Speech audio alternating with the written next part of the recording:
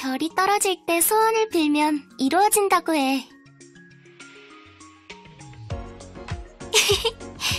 아빠가 곁에 있으면 정말 행복해.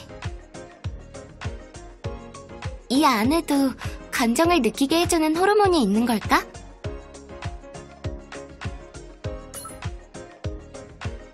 연주를 시작하지. 행복해지는 주문? 꽃 배달 왔어요? 째깍째깍. 서둘러. 축복을 연산해볼까? 이 순간만을 기다려왔어. 야! 좋아, 좋아. 준비됐지? 행진이야. 신랑 입장! 하여간 내가 없으면 째깍, 회사가 째깍. 안 굴러간다. 서둘러.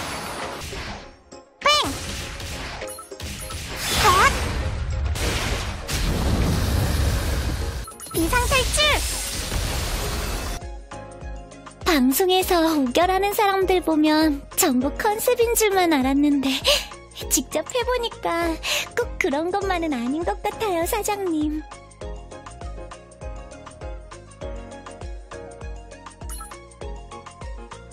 밖은 위험천만해요. 후달달 웨딩 마치 울려주세요. 청첩장 추첨 돌아가요.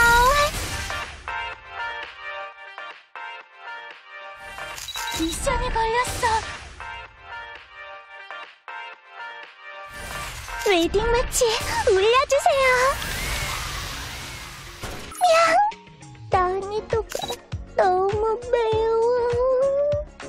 민심 떡락할지도. 미션 성공. 그 멧돼지가 방금 지나가면서 의외로 귀여워 보인다고 하던데요.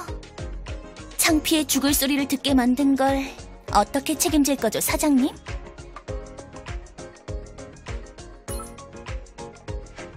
신부 도착 예식장 난입 성공 축의금은 어딨지? 넌 부른 적 없어 저희 앞길에 걸림돌은 없어요 사장님 신랑 입장로 확보하겠습니다 옷이 더러워졌어 바람은 늘 제멋대로죠.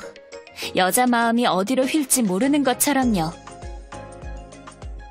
뭐, 사장님 덕분에 지금은 이렇게 잠잠하지만요.